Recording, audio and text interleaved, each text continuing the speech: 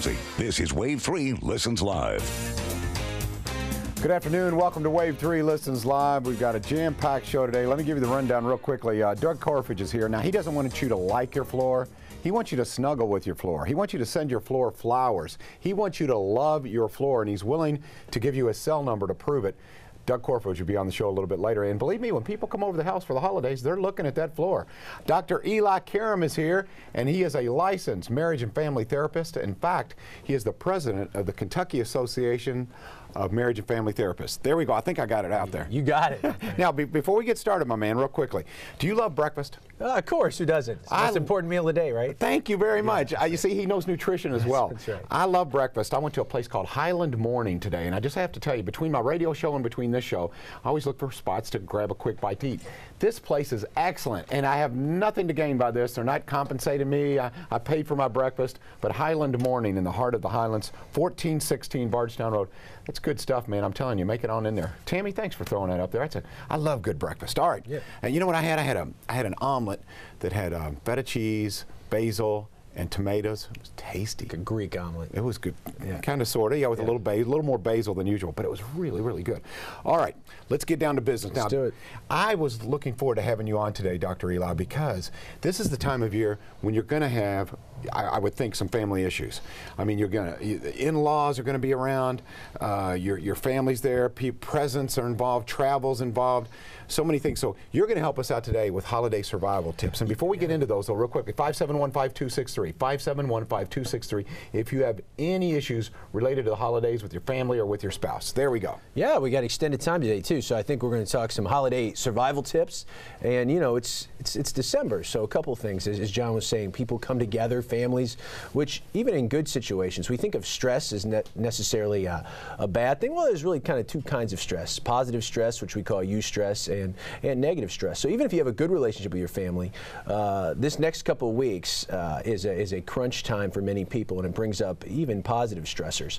And the other thing is the end of the year. People are taking stock on their lives, where they're at, what they've done, uh, which also brings another host of issues. So we're going to talk a lot of that today. We'll start uh, first segment. We'll get some tips for you, uh, and then we're going to have plenty of calls and emails. So please uh, uh, do call in, and uh, we'll have a dialogue about the holidays. So here's some holiday survival tips for your family. Uh, well, first of all, John, I know you're a busy guy too, so you got to set that schedule. So what we got going on is we got. Office parties, we got family functions, we got recitals for for your kids. A lot is going on, and some people uh, are trying to just put everything together, and you don't know should I go to that, should I not? And uh, one person in the family is usually responsible for setting the schedule. I say make it a family activity over this next couple weeks. Put everything on there, and then it's a dialogue about what do we need to go to, what do we feel obligated to go to, or, or what is optional. And depending on different parts of the family, uh, you know that is a discussion. And the last thing you want to do is overschedule during this time of year because hopefully you're taking some time off. You want to enjoy uh, your family and yourself. Uh, tip number two, John and I were talking about last week on the show. You got to set a gift budget, uh, and this is very important because uh, a lot of people are overcome with the spirit of the holidays and they think bigger is better, and sometimes go above their means uh, to take care of other people, which you know is great. But you know, it's as we often say, it's cliched, but it's true. It's the thought that counts. So you want to make sure, especially with your partner, uh, that you have a pretty good idea of what you can spend and what you can't, and how you're going to allocate that. And, it- and it doesn't have to take all the joy out of it. Uh, you can still surprise people. You just want to do it within the reins of what you have uh, and what you can spend. Uh, another tip is very important is this idea of avoid in-law intoxication. That's a trademark, Dr. Eli. Uh, in-law intoxication. So what? Too what much I of the in-laws. That's right. Uh, and you know, just like anything, uh, uh, we think of intoxication. A nice uh, adult beverage. Uh, you know, it can be good. A little eggnog in, Right. in moderation, it can make things better. But Same things with family. it. That's right. Don't start pounding. And, and a lot of times, uh, people start pounding the family in the sense that uh, if you're traveling or if you're having family coming in, you're together uh, for a prolonged period of time in a closed amount of space. And even people that you enjoy and that you love can be too much. So when we say in-law intoxication, we have a, a couple of kind of tips embedded in that. You want either by yourself or with your spouse or your partner, you want a code word or something to get yourself out of there if you've had too much of your family. Uh, you don't want to get involved. A lot of people, they don't talk politics, they don't talk religion, they don't talk really heated things at the dinner table. Um, so if you create yourself some space during that week or during that holiday trip, uh, it can be a both and. You can enjoy your in laws and you can get away with your partner. One way to do it, I'll share a personal example. Uh, my wife and I are going to Chicago. Uh, we see her in laws, we go there a lot. It's a great town. So we will spend a couple days in the suburbs and then we will leave my uh, children uh, with my grand uh, with their grandparents, with my in-laws, and we'll go downtown Chicago, stay at a hotel, so we get our couple time Sure. embedded, and we get our family time. So I it's, it's a nice break. Uh, and again, it. It's a two for one in that sense, in that uh, you know you can spend time with your family, but also you, you don't get so uh, oversaturated that you say something you don't mean or you appear, appear agitated or aloof.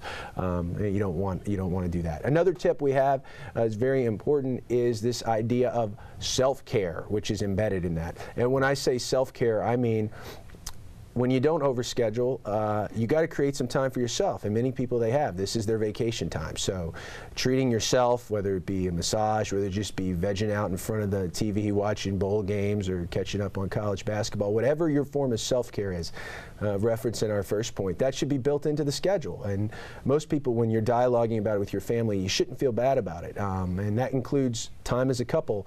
Um, so much on this show we talk about, you know, relational health and focusing on that uh, couple relationship, whether you're married or not. And some people are great co-parents. They do a great, uh, but they do a, a, less than perfect job of focusing on the couple. So you want to make sure, whether it be a date night or a special trip, you want to make sure you have that built in.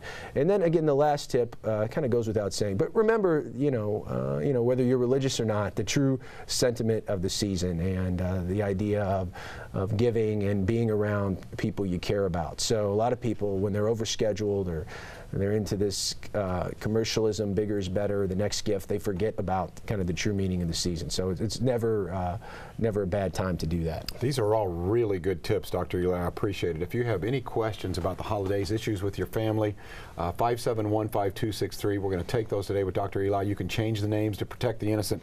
Real quickly, you were talking about a code word or a code phase Yeah. when you've when you've had enough of the in-laws. Yeah. I, I have a code phase that I use with my wife. I say, "Shoot me." It's like, "Let me out of here, yeah. please." Yeah, uh, but but but it's. I mean, we joke, but a lot of couples do, and a lot. so if you talk about that, you know, if you don't talk about that ahead of time with your partner, uh, it seems like you know, you're especially if you're going over to your in-laws and it's, it's your your spouse's family or your girlfriend or boyfriend's family, you feel like, oh man, I'm, I'm the outsider here. But if you talk about it in advance, it diffuses it, and you might not have to use the code word or the exit strategy.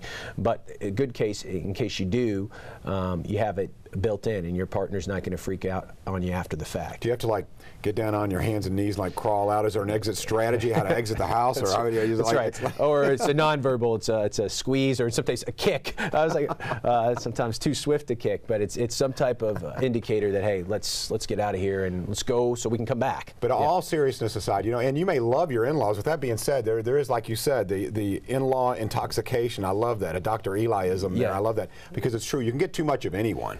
Yeah. And, and during the holidays, you really want to spend time with your spouse, with your kids. Um, and as much as you may love your mother-in-law, your sisters-in-law, whatever the case may be, enough is enough. And, and I do like that. A code Yeah. word, just to kind of so it's not so obvious. Yeah, subtle. I also tell people to remember. I mean, you can do anything for a couple of days. So, you know, maybe you have to maybe you have to change your standards. Uh, but this is not your house. Generally, you're a guest in someone else's home. You can put up with anything for a couple of days. Uh, and again, you don't want to do anything offensive or anything to kind of uh, break the spirit of the holidays or ruin that relationship with that extended family. All right, once again, he is a licensed marriage and family therapist, and he's the very best at it. Free advice, 571 5263.